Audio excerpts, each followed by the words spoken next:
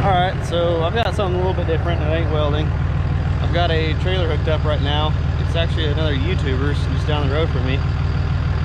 He uh, came to me trying to figure out why his trailer is wobbling, like it's out of balance doing this. So I'm gonna take it, I rode with him, but I gotta hook it up to uh, move it into the shop so I can take it apart and look at it.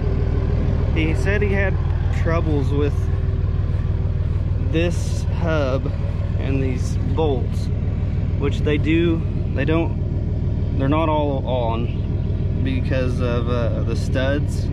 All, he said all these, like all four corners is almost like they were all stripped, or not stripped, but none of the nuts wanted to come off. And he had to get two new tires put on this side and that side.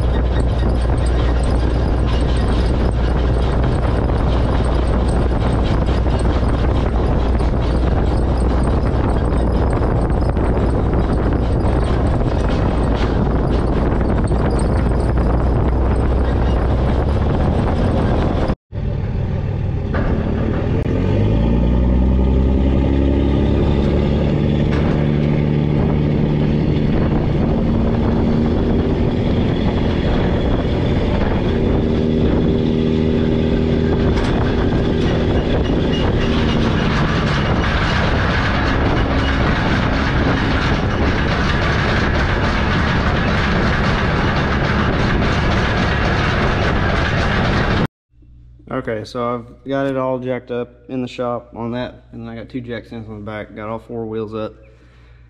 Uh, he's already had these back two tires replaced, but I spun the first, the front axle, and this is what I found.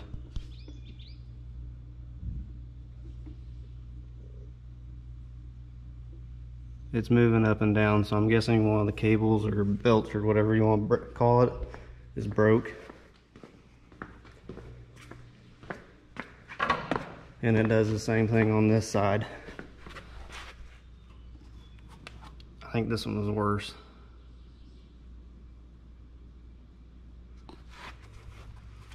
They're just 10 ply tires and I know he, it's a heavy duty trailer, but they just don't put heavy enough tires on them. That's probably what's happened. Just old, old tires just gave way. So I've already contacted them, let them know what was the issue and he'll I'll probably have him come get those and he can get either a new rim or new tires whatever he wants to do. And I'm definitely gonna fix this wheel hub for him. That way he has all the studs and nuts on there. That way he doesn't have to worry about later on. So I'm definitely gonna take that off get it repaired. But I'm almost positive that's gonna be the shaking. I, I, I'm assuming that when the worst shaking is it's the if the tires are opposite of each other when they're out around, it, it probably does twice the damage. So, but we're gonna get this fixed up, get them back on the road. So I've got both tires off the front. He's gonna actually take them, get them, uh, get new tires put on them. Uh, I did look. I feel like this trailer is undersized on its tires. It has a 14,000 pound gross vehicle weight rating and it's only running 10 ply. Uh, it doesn't say how much the trailer actually weighs, which I would believe would be probably three or 4,000 just in comparison to my uh, my other equipment trailer. But my trailer out here it's running the same axles. It's also, I believe this one's a 24. That one's also a 24. Run 7,000 pound axles on both front and back. And it's only got a thousand more pounds of gross vehicle weight rating. And it's running 14 ply on the tires. These are only 10. And he hauls a skid steer and a, a little compact tractor on it. So I, in my opinion, these tires are way undersized or way under the ply rating than what it should be in my opinion so he's going to get those replaced I'm going to go ahead. I've got the hub off, got all the studs knocked out. I did put one back in for video purposes, which people may not care, but uh, the way to take this apart, take that bearing out, or take, sorry, taking that off the spindle. It's got this, on this axle, it's got this little click keeper on this that swines up with the shaft and it goes over the nut. So you pop that off. The nut was actually loose, which it's supposed to be to a certain point. They're not supposed to be tight since it's like a preload on these, which I'll show you how to do that when I put it back together. Go ahead and knock this last stud out, just like that. And if you're wanting to save them, if you're replacing it as a drum, replacing that and it's not studs, you can put a nut on there and beat it off with that and then you can save your studs. But I would I wouldn't think studs are expensive enough to not replace them when you go back with it. So we're gonna replace the studs on this, clean up the bearings a little bit. I've got some good Schaeffer's high temp grease I'm gonna put back in this when I put the bearings back on it and assemble it.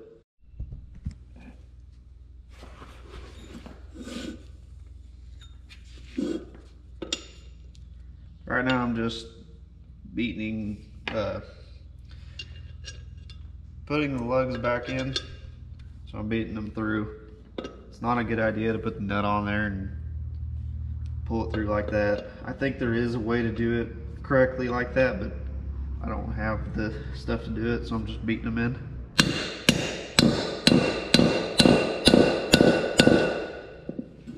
You can feel the difference between the hit once it gets to the bottom.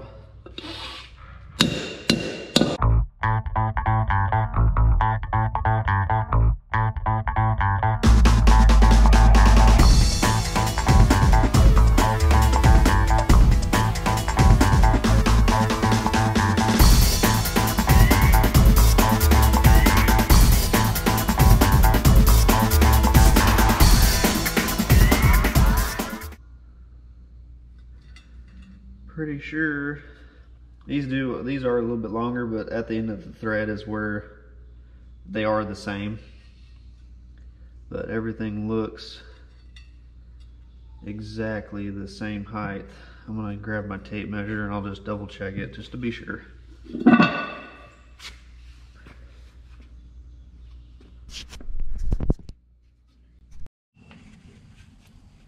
So I put some of the high temp grease on there before I put the bearing in there. That way I know the bearing had immediate contact of grease. I'm just assembling the rest of this. Then before I tighten everything down, I'm gonna spin it and grease it as I go. And there is such thing as too much grease. Uh, you put too much in there, it'll actually overheat the bearing from my experience working at a chemical company. You can actually tell when you had too much grease. If you put a heat gun or a laser thermometer on there, you could actually watch it heat up as you put too much grease in there. There's like a fine line. I don't know exactly what that fine line is, but just in my experience, it's what's what I've seen. Put this on there.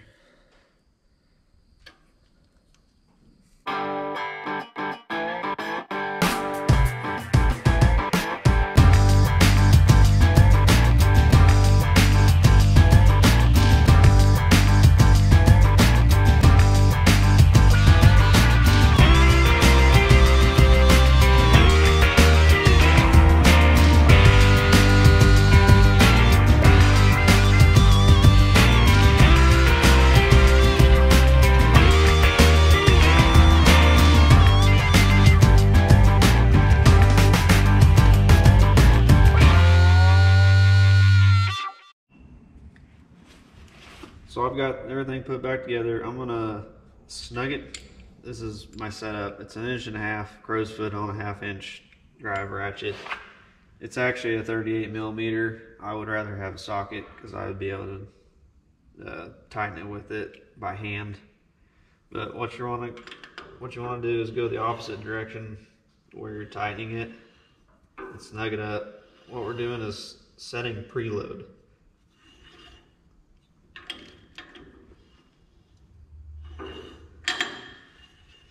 That's pretty tight. That's That'll get really, really hot when you're going down the road. So that's not what we want. I'm gonna go a little bit more, set it, that's pretty tight. So I'm gonna go back it off, loosen it all the way, and then I'm gonna tighten it by hand. By hand, I need something with a little bit of leverage, but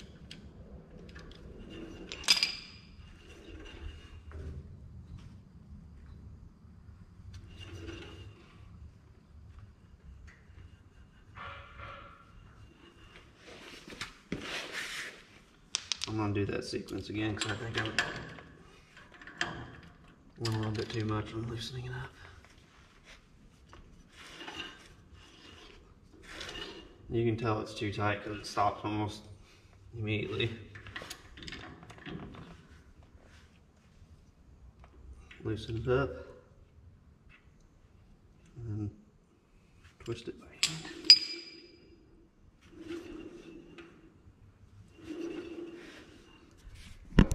In comparison. This one I haven't touched, which I know it doesn't have brakes. We'll just go over here.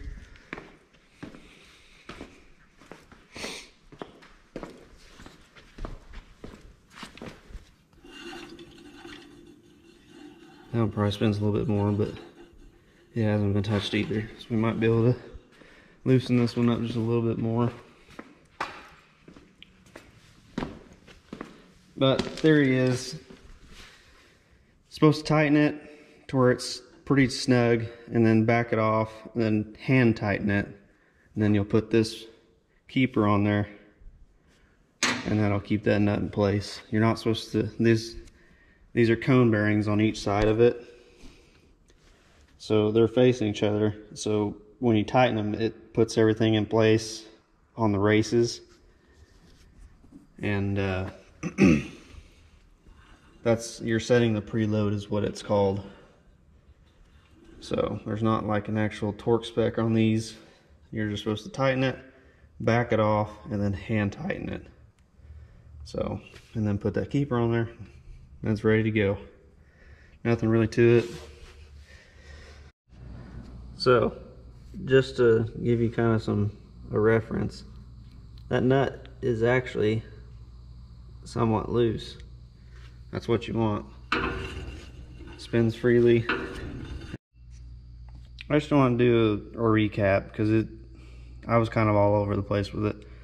But so when you put this bearing, put the outer bearing in it, the uh, the spacer and then the nut, you'll snug it down while you're turning the bearings. You're setting the preload. So you snug it, get it I wouldn't say super tight. You don't be stretching the cages of the bearings or anything like that. Then back it off until it's loose, like completely loose, where you can spin it completely off by hand.